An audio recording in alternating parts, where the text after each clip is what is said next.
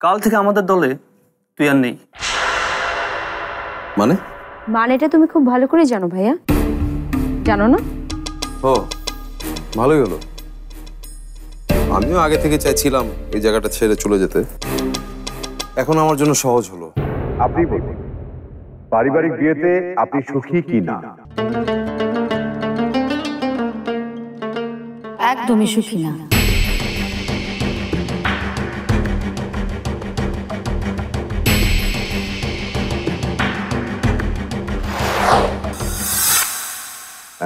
আপনি আমাকে ডোবেন দেখছি। সত্যি কি আপনি সুখী না? একদমই না। কারণ হলো, আমি যেরকম চাই, আমার স্বামী সেরকম না।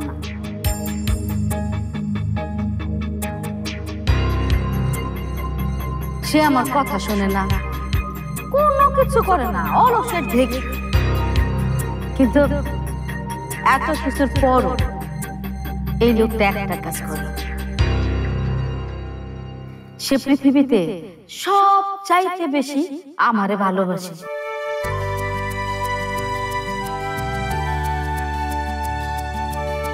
আর সেটা আমি তার চোখের দিকে তাকাইলে বুঝতে পারি। আর এই জন্য আমি ধন্যবাদ জানাই আমার বাবা মাকে তারা আমার জন্য এইরকম একটা পাত্র ঠিক করে দিয়েছে।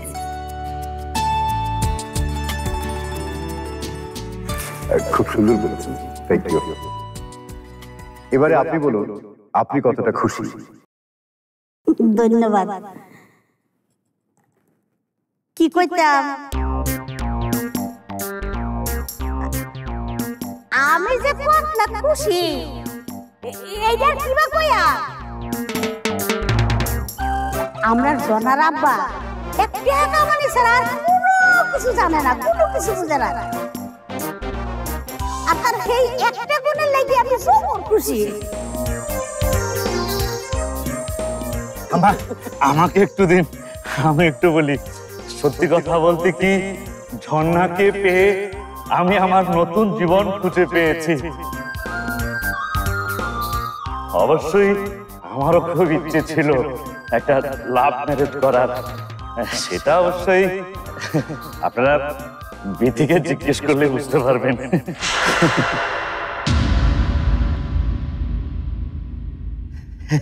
কিন্তু সেদিন বিধি আমাকে ফিরে দিয়ে আমার জীবনের সাংঘাতিক উপকারটা করেছিল।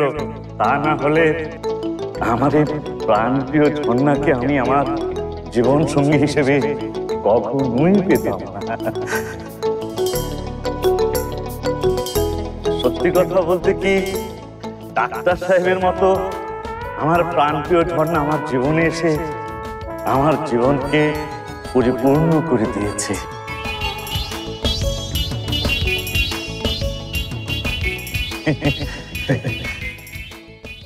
সুধীবৃন্দ সম্মানিত বিচারক আপনারা সবাই বুঝতেই পারছেন অ্যারেঞ্জ ম্যারেজ কতটা দরকার? তার জ্বলন্ত উদাহরণ আপনাদের সামনেই দাঁড়িয়ে আছে। তবে অ্যারেঞ্জ ম্যারেজ হোক আর লাভ ম্যারেজই হোক, লাভ মানে ভালোবাসা। সেটা যেন সবার জীবনেই থাকে। Sweetheart Do not love to long, I love to long and long and grew to be out of fashion like an old song. আমার আর কিছু বলার নেই। এবার আমি ফরাদ সাহেবকে লাভ ম্যারেজ নিয়ে কিছু বলবার জন্য অনুরোধ জানাচ্ছি। থ্যাংক ইউ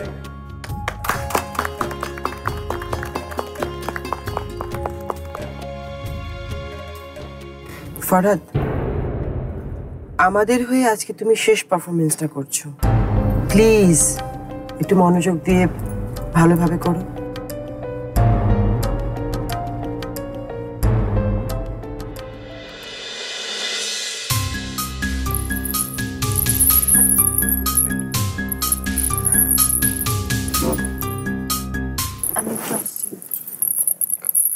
তুই এখন কোথাও যাবি না?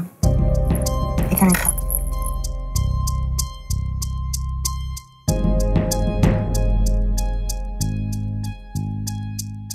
মঞ্জাপা তুই না থাকলে তো ফরদ ভাই কিছু বলতেই পারবে না। ওনার মুখ দিয়ে কোনো কথাই বের হবে না।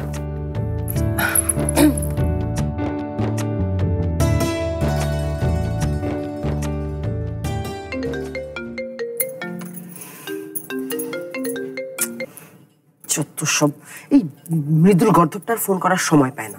আমি ডক্টর খালেদের শেষ কথা দিয়ে শুরু করছি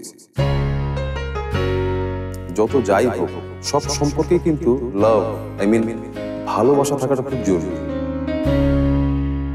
আপনি কি করে এত নিশ্চিত হবেন যে অ্যারেঞ্জ ম্যারেজ করলে হাজবেন্ড এবং ওয়াইফের ভিতর ভালোবাসার সম্পর্কটা ঠিক থাকবে, ভালো থাকবে, তারা একসাথে মিলেমিশে থাকতে পারবে? তাই আমার মনে হয় বিয়ের আগেই এই ব্যাপারটা নিশ্চিত হওয়া খুব দরকার।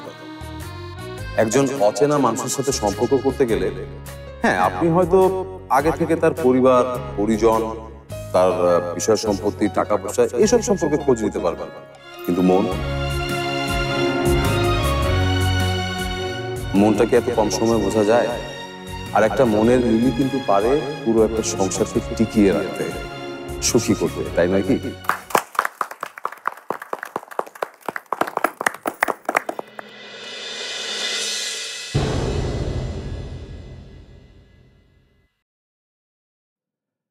আমি জীবনে একবারই একটা মেয়ের প্রেমে পড়েছি।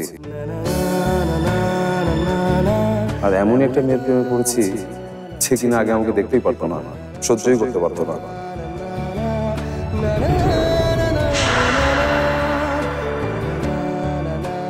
এখনও দেখতে পারে কিনা আমি ঠিক নিশ্চিত না। তবে আমি জানি না জানি বললে ভুল হবে আমি বিশ্বাস করি ওই মেয়েটা আমার ভালোবাসা বুঝতে পারে একটু।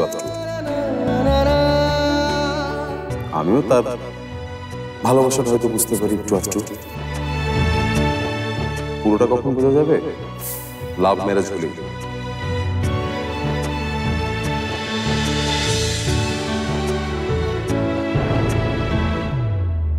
ভালোবাসার বিয়ে এমনই এক সম্পর্ক যেটা আমাদের একজন আরেকজনকে বুঝতে সাহায্য করবে আর এটাই হচ্ছে লাভ ম্যারেজের মজা।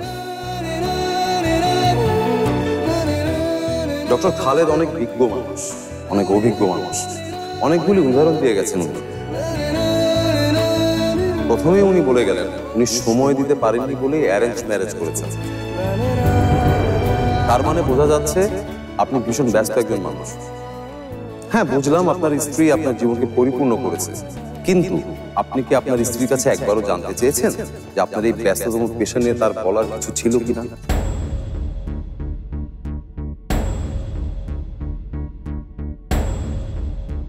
আমি জানি ছিল ঠিক কিনা বলো?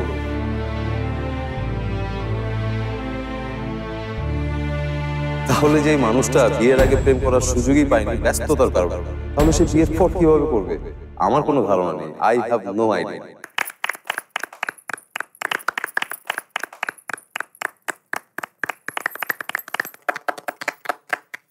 আর ডেটিং এর খরচের কথা বলছেন? বিয়ের আগে খরচটা করলে হয়তো বিয়ের পর এত খরচ করতে হতো না ডক্টর সাহেবকে। তিন নম্বর আপনি বলেছেন অ্যারেঞ্জ ম্যারেজে শ্বশুর শাশুড়ি অথবা বাবা মায়ের ফোটা কম শুনতে হয়। কিন্তু আমার মনে হয় না এটা সত্যি। সালমান কি বলুন। সালমা বিবি আর কিতা কইব? হ্যাঁ তো তার হবু জামাইয়ের পক্ষে কইব কথা। আমি কই শাশুড়ি বাইসা থাকলে বাড়ির বউ ফোটা খাইছে না। এমন কোন বউ বাংলাদেশে আসেনি হ্যাঁ?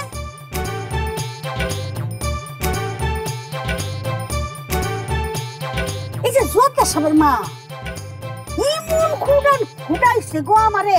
জীবন করে তোস তোস করে দিছে। আহা শুনেন যে আপনি তো এখন আমার জীবন তছনছ করতেছেন শ্বশুর বাড়ির লোক হইয়া। এ সালমা বিবি আমি এবার তোমারে কেলাম মুখটা একটু সামালটা কই একটা কইয়া দিও। মা থামো না কি শুরু করলে এসব? এই তোমরা চুপ করবে? আমাদের বিচার কার্যে সমস্যা হচ্ছে। হ্যাঁ খুব সমস্যা হচ্ছে। আপনারা একটু চুপচাপ বসুন প্লিজ। আমি এতক্ষণ ধরে এটাই বোঝাতে চাইছিলাম অ্যারেঞ্জ ম্যারেজ শান্তি বাড়ায় না। শান্তির জন্য ভালোবাসা থাকাটা ভীষণ জরুরি। আর চার নম্বরে যেন ডক্টর সাহেব কি বলেছেন? ওই যে মা বাবাদের দূরে সরিয়ে দেয় লাভ মেরে জলারা হ্যাঁ যে সত্যিকারের ভালোবাসতে পারে সে সে কীভাবে বাবা মাকে দূরে ঠেলে দিতে পারে এটা আমি আসলে বুঝি না। আর যদি কেউ দূরে ঠেলে দেয় তবে বুঝতে হবে তার ভালোবাসাতেই ভেজাল আছে। সতর্কীকরণ। এই ধরনের মানুষ থেকে দূরে থাকুন। কারণ এসব মানুষ অ্যারেঞ্জ ম্যারেজের পরও বাবা মাকে দূরে ঠেলে দেবে।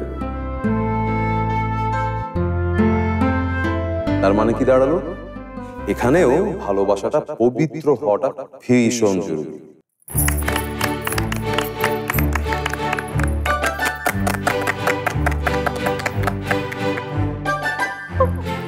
তুই হাসছিস কেন? এমনি। বাবাজি পড়া যত বড় বড় কথা কোক না কেড়ে জিতবা কিন্তু তুমি। আর পাঁচ নম্বরে খালেদ সাহেব বাস্তব কিছু উদাহরণ দেখিয়েছেন যেটা আমিও দেখাতে পারি এবং এবং সেটা বিচারক মন্ডলীর মধ্য থেকে।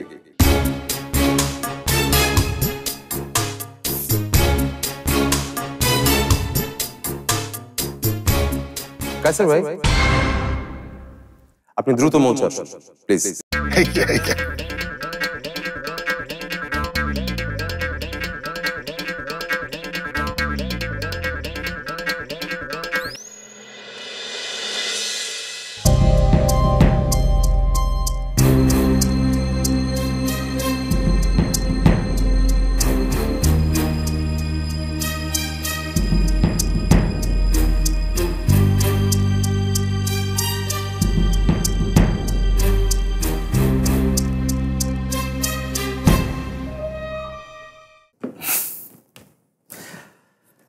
আচ্ছা কাইসার ভাই আপনার বিয়েটাও তো অ্যারেঞ্জ ছিল তাই না? হ্যাঁ তা বলতে পারব ভেরি ওয়েল আর আমি যতদূর জানি আপনি আপনার বিবাহিত জীবনে অনেক সুখী তাই নয় কি?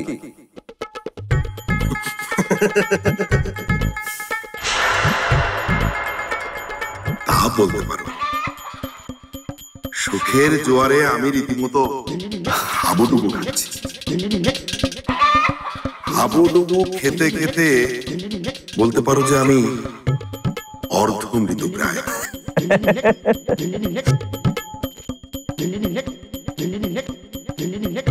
আর কিছুদিন এভাবে চললে আচ্ছা আচ্ছা। আপনারা সবাই নিশ্চয়ই বুঝতে পারছেন ভাইয়ের কথা শুনি যে কাইসার ভাই আসলে কতটা সুখী। কাইসার ভাই আপনি আপনার নিজের জায়গা দিয়ে বুঝতে পারেন।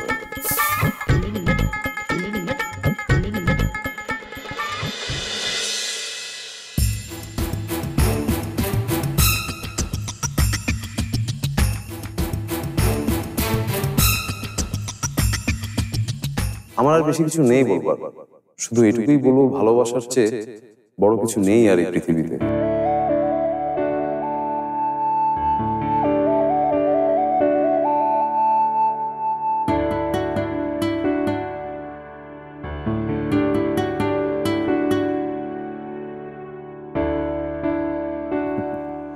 আর এই ভালোবাসার জন্যই আজ আমাকে আমার দল মানে বরপক্ষের জায়গা থেকে আমাকে বের করে দেওয়া হয়েছে।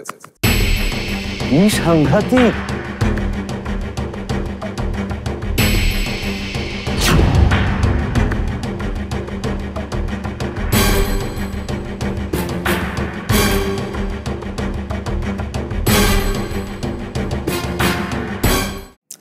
ভালোবাসার জন্য এটুকু স্যাক্রিফাইস করা খুবই সামান্য ব্যাপার। উপস্থিত সবাই আমার জন্য দোয়া করবেন। আমি যেন আমি যেন খুব দ্রুত আমার ভালোবাসার কথা ভালোবাসার মানুষটিকে বলতে পারি।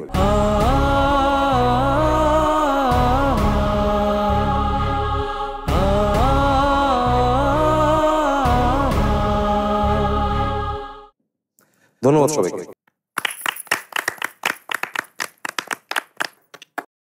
আরে, কি সাংঘাতিক করাচ্ছে আপনি কোথায় যাচ্ছেন? এখনও তো ফলাফল ঘোষণা করা হয়নি। আসুন স্যার আসুন। ডক্টর খালেদ আপনিও চলে আসুন। এখন ফলাফল ঘোষণা করা হবে।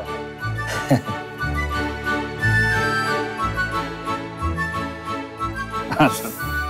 Thank you very good performance thanks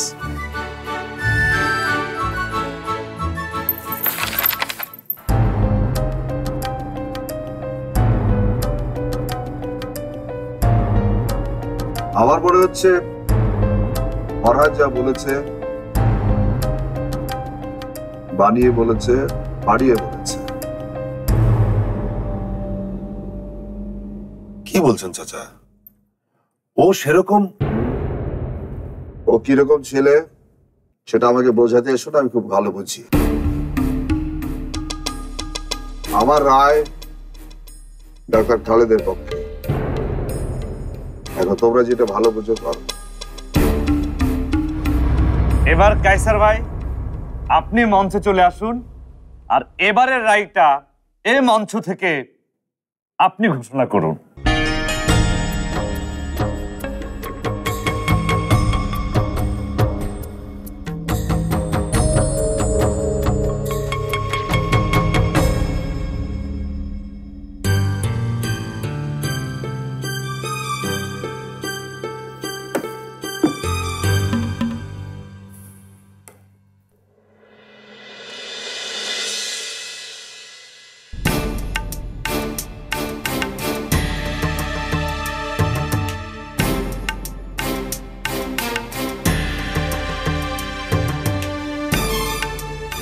এবারের বিজয়ী নির্বাচন করাটা খুব কঠিন কাজ ছিল। দুজনই ভীষণ শক্তিশালী প্রতিদ্বন্দ্বী এবং দুজনই খুব ভালো করেছেন। কিন্তু তারপরও তো একজনকে বেছে নিতে হয়। ওনাদের দুজনের মধ্যে যিনি সবচেয়ে ভালো করেছেন, তিনি হলেন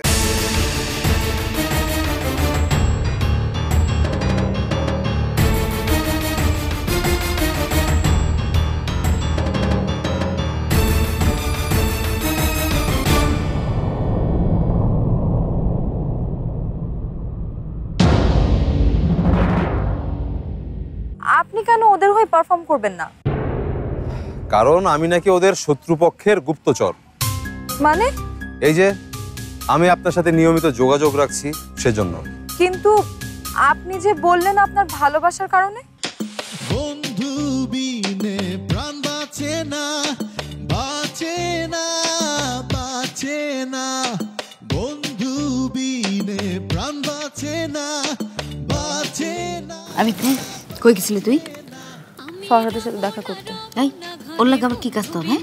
তলে তলে তুই কি করতেছিস? আমার সত্যি করে কত? আমি রব না রব না ঘরে বন্ধু বিনে প্রাণ বাঁচে না। একটু পরে হয়তো বা আমাকে ডাকবে। আমার ব্যাক স্টেজে যাওয়া দরকার।